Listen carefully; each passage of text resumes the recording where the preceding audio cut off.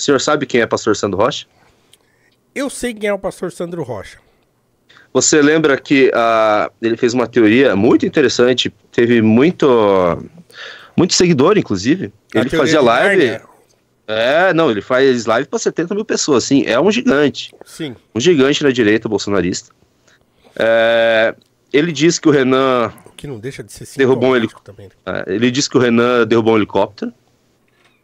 Do Teoriza Vasco. Hein, Jaquiarte? Faz um Não, pera aí, não coloca ainda. Não, não, vazou, vazou. E ele fez a teoria dos, dos clones do Lula, que até o Lula comentou. Chegou, viu que o Lula comentou. Eis que Sandro Rocha volta na vanguarda, na vanguarda da política brasileira e lança mais uma teoria. Pode colocar aí a próxima teoria dele. Outra aí. Dá uma olhada, Pavão, Misturios, Jaquiarte, louvor e palavra, obrigado, Deus abençoe. O melhor bolo de Nova Iguaçu. Quero experimentar, hein, Jaquiarte? Faz um seco pra mandar pra nós. Maduro acusa Lula e Gustavo Petros de vencer as eleições por fraude. Tá na CNN ele falando isso. Terra Brasil. Agora dá uma olhada nesse cara aqui, ó. Dá uma olhada nessa foto. O que, que você fala pra mim? Hã? Dá uma olhada nesse. Dá uma olhada nessa outra aqui agora. Sobe essa. Dá uma olhada nessa. Agora volta a outra, Gabriel. If you're a business Ah, Maravilha, hein? É, Saf, pelo amor de Deus, Ah, mano. É, não, 20, é 29 reais por mês, cara. Por que você não Compra o fez então Renan e quando faz ele. Faz ele comprar o prêmio pra você. Ah, tá. Fala com ele então. Bota aí. olhada nessa aqui. Você acha que o Maduro tem sósia, irmão? Sim ou não? Você acha que o. Maduro tem sósia? Sim ou não? Eu sei que os caras da direita, esses imbecil aí do, do X, fica falando que eu sou um cretino, que eu fico com essa história de sósia, que eu fico com essa história é, é, de, de, de, de strass, que eu fico atrapalhando a direita. Põe a outra aí, Gabriel. Põe a outra aí. Troca aí. Não Dá atrapalha, uma olhada não. a outra foto, irmão. Você acha que é a mesma pessoa? Olha aí. Ele tá rindo por quê? Ai, Porque ele descobriu, né? Ele tá Ele descobriu ele- mais ele uma tá- coisa. O tá grande dizendo- pastor Sandro Rocha. O que ele tá dizendo é que o Maduro tem um, um sósia? É, é, não é a mesma É isso pessoa. mesmo? Meu Deus, cara. 70 mil pessoas ao vivo ouviram a grande teoria, professor, que Maduro tem um sósia. Caramba. Isso é a direita verdadeira, não aquele Didi, não aquele Didi, Didi Red Pill, que fica só copiando, falando as mesmas merdas, não. É ele, ele. não fala com o MBL, o pastor São Rocha não fala que o MBL é o... Não, não foi com o Bolsonaro, tem o Bolsonaro, fala, não. Os menudos, eles chamam a gente de menudos, os menudos derrubaram o avião Teori Zavascki, deram um tiro no carro do juiz. Caramba, cara. Olha isso. E olha a cara dele. Bota na tela aí, ó. Pô, não fala da cara dele, é um fofinho. Rapaz, isso aí, Olha isso. Isso aí dá a capa de um filme de terror. Tem alguém que comentou que ele tá sempre de olho vermelho aí, o que é que poderia ser? É. Sei lá, pode ser só psicopatia mesmo. Então é isso. Eu ia trazer isso porque eu chafurdei, né? O Renan gosta muito do pastor Sandro Rocha, tá, professor? Ele gosta das teorias do pastor Sandro Rocha. Porque eu, talvez é a única pessoa que realmente dá uma importância grande pra ele nas histórias, porque ali o Renan é pô, Ah, poderoso. na- na- ah, tá. No imaginário do pastor Sandro Rocha, o Renan é um. Poderosíssimo. Lex Luthor. Uhum. É um gênio do mal. É um gênio do É mal. um gênio do mal. Caramba, hein? E é isso, eu queria trazer isso pra você, pra te pastor apresentar, Sandro porque Rocha. teremos novidades pastor Sandro Rocha, porque aparentemente, professor, ele tá envolvido com o Zóio Verde. Quem é Zóio Verde? Tem que ensinar tudo pra você, professor. É, não, é todo um estudo pra entender o Sandro Rocha. Nem eu entendo 100% ainda. Quem é o Zóio Verde? É o Você não Bolsonaro? conhece os Zóio Verdes? Os Zóio Verdes é um grupo de, de idosos bolsonaristas do Twitter. São os Zóio Verde. O Coringa, Zóio Verde, não sei o que, Laurinha, Zóio Verde. Eles perseguem os traidores Ah, do bolsonarismo. Sabe quem que são os traidores do Bolsonaro? Eles ficam o dia inteiro atacando os, os, os traidores. traidores, que é o MBL. Alan dos Santos.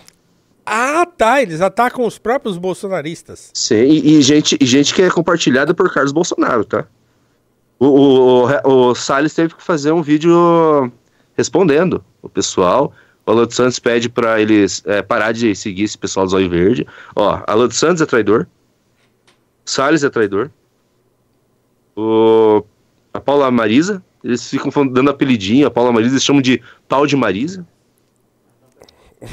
Cara, sabe quem não é? Sabe quem não é? Ah, Eles são muito fiéis ao Ricardo Nunes. É o maior conservador de todos os tempos. Ah, é? O Ricardo, aquele, o prefeito aqui de São Paulo? Sim, sim. Esse sujeito é o maior conservador que existe pra esses caras? Eles pintam ele de zóio verde. Eles colocam uns raios assim. Ricardo, do- o cara, o, o, o cara, o maior elemento sem energia do universo, né? O sujeito tá absolutamente é, ba- bateria fraca, quase acabando. Eles botam um raio no, no zóio desse cara. Quem é esse cara que ele, ele mora numa, num lugar que não tem. Ele tem um assistente que não tem nada? que só tem as plaquinhas É, dele do YouTube. olha a minha, olha a minha É, aqui, olha a minha. Não, a sua tá de- bonita, a sua tá bonita. Junito Pô, Paim. Junito Paim tá, É da Austrália. Tá chique. Mas esse aí tá legal. Bonito esse cenário aí, hein? Bota uma, duas prateleiras e bota só as plaquinhas do YouTube. E ele tem duas plaquinhas do YouTube. Significa que ele tem mais de 200 mil seguidores, Ele né? tem 1 milhão e Inscritos. 200. 1 milhão e 200 inscritos. Deve um de Bastante. 100. É Nunca isso, ouvi falar mano. desse cara, não sei quem é esse cara. E ele Mas- tem 1 milhão e 200 mil Ah. inscritos no canal no YouTube. É Cara, grande, esse vamos cara ver? não vai deixar de ser bolsonarista nunca, né? Não. Nunca. Porque assim, com esse número de seguidores, de, de inscritos e, e os, os números que ele tira, ele deve tirar uma grana. Então esse cara, assim, ele vai ser Bolsonaro até o final, né? É isso. Então vai lá. Bota ele aí.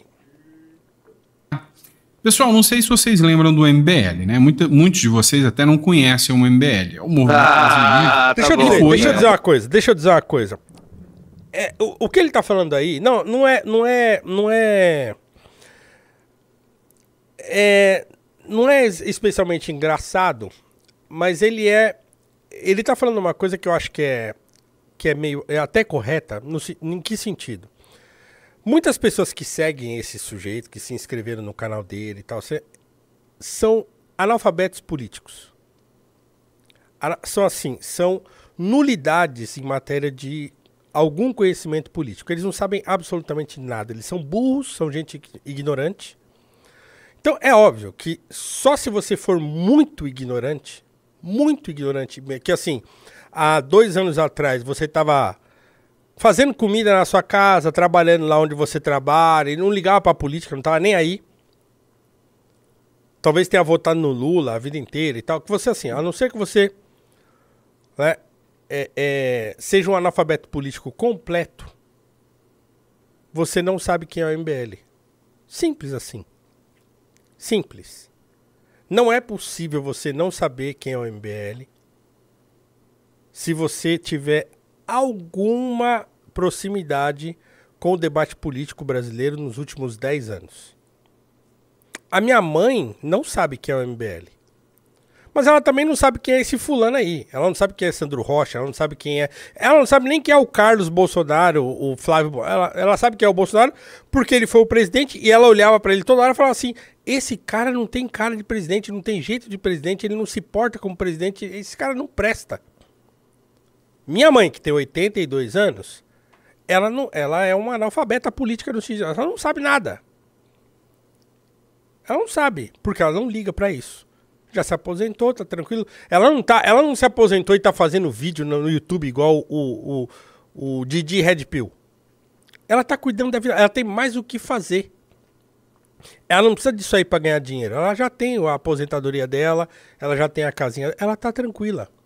Então a minha mãe, se de repente, na época do governo Bolsonaro, ela falasse assim: Nossa, eu amo o Bolsonaro. Pronto, se eu, se, eu, se eu tivesse que casar com um homem, eu casaria com o Bolsonaro, com essa maravilha desse, desse sujeito.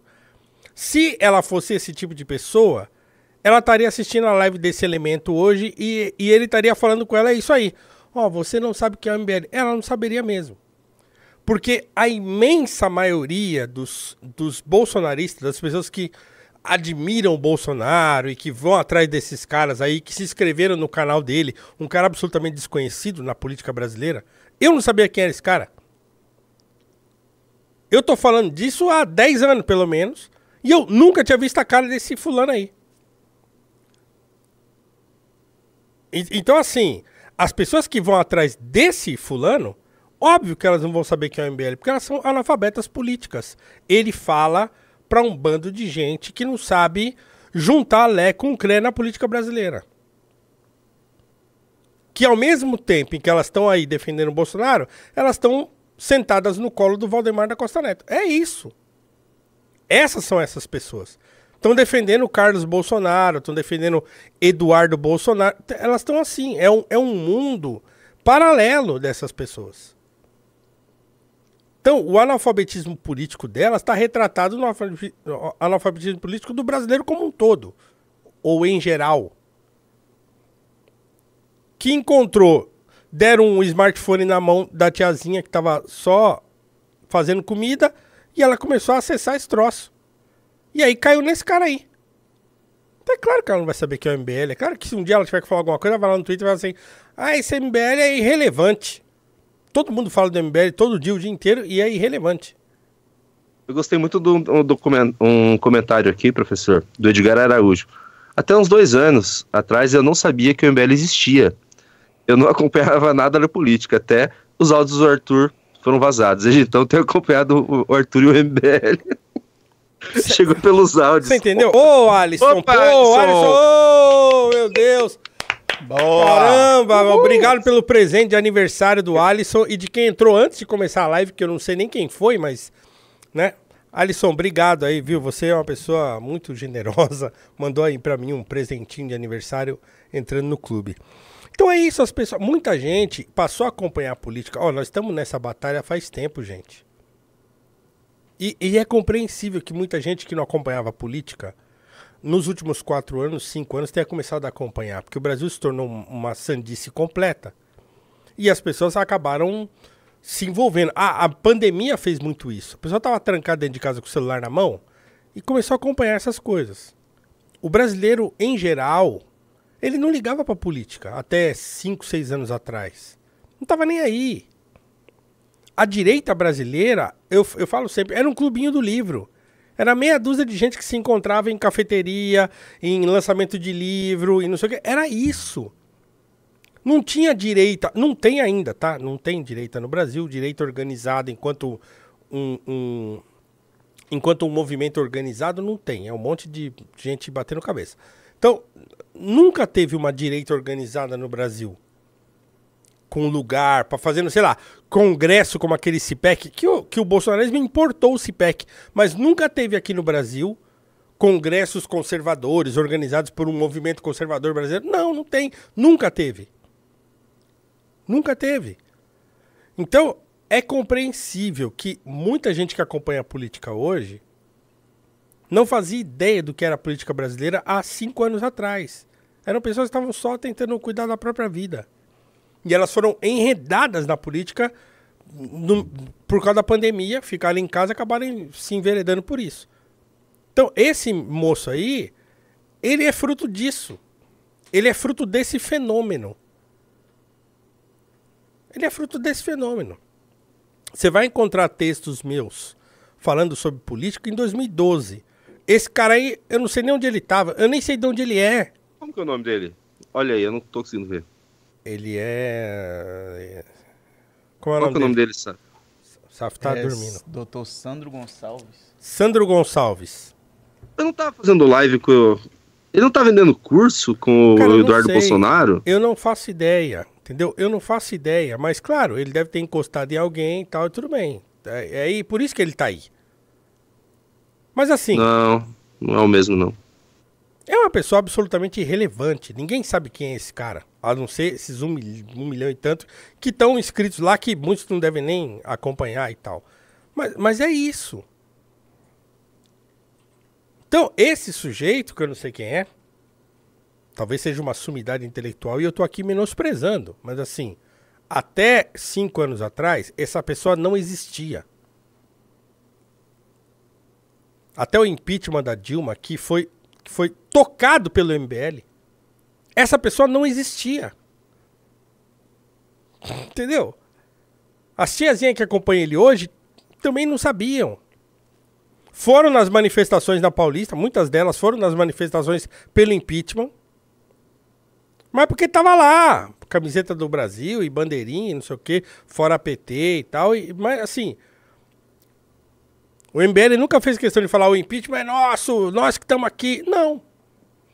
Então por isso que as pessoas hoje não fazem nenhuma associação Porque o grupo nunca quis tomar o impeachment pra si. Apesar de ter feito quase tudo. tá? Até ido pra Brasília a pé e tal, aquela coisa toda. né? Fez toda uma, uma, uma coisa midiática em torno do impeachment que funcionou bem pra caramba. E esse cara simplesmente não existia. Porque eu nunca tinha visto a cara dele. E eu acompanho política há bastante tempo. Então, toca o barco aí, vamos ouvir o que ele tem pra dizer pra gente já passar a bola pros esquerdos. Eu não quero terminar sem ver o. apoiador do Bolsonaro em horrendos. 2018, depois virou as costas para o Bolsonaro, inclusive fez de tudo pelo impeachment do Bolsonaro, se alinhando inclusive a partidos de esquerda, Sempre o como, por exemplo, o Partido É Comunista sempre do a Brasil, mesma coisa, o esses caras, eles repetem Inclusive, até porcarias. teve ao lado do PT, só não dividiu o palanque, mas fez muitos apoios, menções a ações do PT, da oposição do PT contra o Bolsonaro. Então, assim, eles encararam o Bolsonaro, independente do resultado, mesmo que o PT, ou melhor, eles até preferiam que o PT fosse quem entrasse no poder. Deu para perceber bem isso. A grande questão aqui é que eles já devem estar sentindo um pouco de saudade do Bolsonaro. Porque o Bolsonaro, ele tinha vários defeitos. Eu mesmo fui um cara que já fiz muitas críticas ao Bolsonaro. Nunca tive. Ver as críticas dele. nada. Nunca fui é, sabe, processado. Já tive conversas com o Eduardo Bolsonaro. O Eduardo Bolsonaro já até brincou. Você puxou a orelha ali, né? Você não devia ter falado isso. Mas Que jogo, crítica, tá? mano. Caramba, mano. Que coragem. Então, assim, Que sempre foi um coragem. tratamento muito respeitoso. Diziam que o Bolsonaro era ditador, que usava a máquina pública contra opositores. Mas dá uma olhada nisso aqui. MBL na mira da Polícia Federal. Investigação foi instaurada a pedido do Flávio Dino, enquanto ele ainda era ministro da Justiça. Após o movimento Brasil Livre fazer uma mentira grande demais, uma fake news, aquelas gigantescas, associaram Lula ao aborto. Pois é. E agora estão respondendo por crime de calúnia. É isso que a matéria traz aqui pra gente, matéria do antagonista, né? A Polícia Federal abriu um inquérito para investigar uma postagem do MBL no X antigo Twitter, realizada em agosto de 2023. Então, postagem no Twitter hoje dá inquérito, tá? E dá investigação pela Polícia Federal, em que a agremiação associava o presidente Lula ao aborto. Em 11 de agosto do ano passado, o MBL, coordenado por Renan Santos, fez uma chamada no X, né? Foi uma capinha, né? Uma thumb, para um boletim de notícias do grupo com a seguinte frase: Lula aprova aborto e mudança de sexo. MBL News. Depois, o grupo postou um link com uma live no YouTube sobre o tema. O pedido de investigação foi feito em agosto de 2003, 23, pelo ministro da Justiça Flávio Dino. Dino é hoje ministro do Supremo Tribunal Federal. Na tá época, lendo a Dino matéria soube da postagem do MBL. 300 vezes. O M, até no STF, não é pequeno não, tá? É. Vamos falar de eleições municipais? Vamos lá. Ah, Esse, É, chega, chega. Esse Ah, fulano chega, aí, chega, esse é ele é chato. político, né? Você sabia, Junito? Não, o que que ele É, é? ele é do Solidariedade. Ah, o É, quê? Ele é do Solidariedade de. Pelo, pelo- menos era até, mais, né? era até a eleição de 2022, né? Então a Solidariedade virou o quê? Não lembro. É, ele, ele é de Orizona, em Goiás. É de Goiás. É, um Orizona, milhão. que eu acho que é a um milhão. Arizona do Brasil. que é a Arizona brasileira, é o Orizona. Pois é, ele é isso aí, ele é político, foi candidato em 2022 e pro- provavelmente não foi eleito, né? Porque Ah, hoje ele não é político, então. Ele tá tentando ser político. é, deve estar, né? Porque ele, ele não aparece aqui como eleito não, tá? Eu adoro essas críticas que eles têm ao Bolsonaro. Eles falam, não, eu nem sou tão bolsonarista que eu tenho várias críticas ao Bolsonaro. Até uma vez o Eduardo Bolsonaro puxou minha orelha, né? Ô, cara, assim não. É tipo, as- já viram as críticas do Constantino? O Constantino jura que não é bolsonarista porque ele tem várias críticas ao Bolsonaro. A crítica dele é que o Bolsonaro não teve tanta coragem pra dar o golpe em 2021, lembra? Ele teve Então- que se desculpar falando que tava bêbado. A questão toda é exatamente essa, tá? Então é isso. Ah, ele é. Hoje ele é suplente, tá? Ele teve é, 10 mil votos no primeiro turno, tá? E. Tem umas casas aqui e tal. eu sou então muito perfeccionista.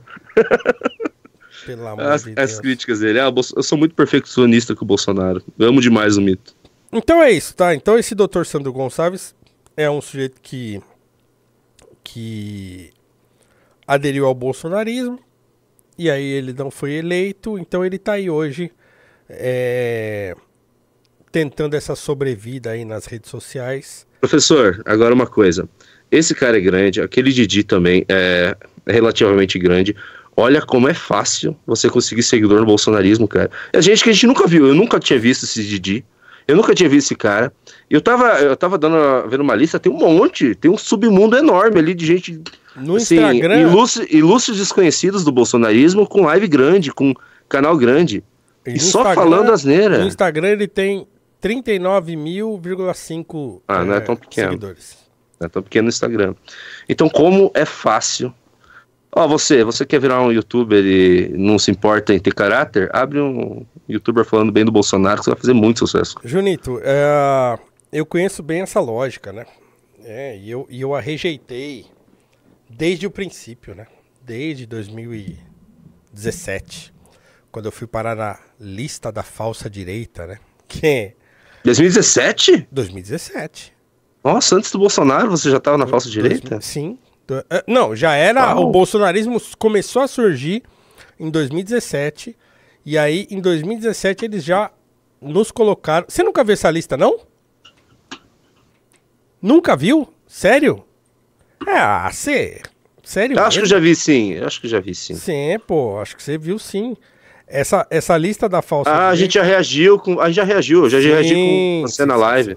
Que Não, tinha até comentário do Eduardo. Não, é, do isso, Eduardo? é, não, então, é, essa lista da falsa direita estão, ó, começa Alexandre Borges, Carlos Andreasa, Rodrigo Jungmann, Paulo Briguet, Paulo Cruzeu, Flávio Morgenstern, Paulo Figueiredo, Hélio Beltrão, Rodrigo Gurgel, Flávio Quintela, Felipe Trielli, Rodrigo Constantino, Flávio Gordon. Ah, tá ali, ó, o Saf pôs na tela aí, ó. Põe É na tela aí. Facebook, né? É, a lista da falsa direita no Facebook. E assim, você vai ver aí, qua- quantos que nessa, nessa lista aí hoje Paulo Figueiredo é da falsa direita. é, ele era da falsa direita. Mas olha lá, ó, quem sobrou na lista da falsa direita que hoje continua sendo falsa direita. Então, você, de cima pra baixo ali, ó. Alexandre, de cima pra baixo. Alexandre Borges, Borges, certo? Andreasa. Falsa direita. Andreasa é falsa direita. É, acho que Cruz. o Rodrigo Jungmann também é falsa direita. Eu não eu-. É, quem mais? É, a Joyce, mas não, Ah, a Joyce é não. esquerda. À esquerda. É, ela não. É, Felipe Moura. Paula Rosisca, Felipe Moura Brasil. E a Raquel Deixa eu botar de Chirazade de esquerda não Cara, conta. Então, aí, Paulo Eduardo seis Martins era falsa direita? também tava lá. Mano, Paulo Eduardo Martins, o primeiro jornalista que levou o Bolsonaro a sério. Pois é, mas aí, ó, tava na lista da falsa direita.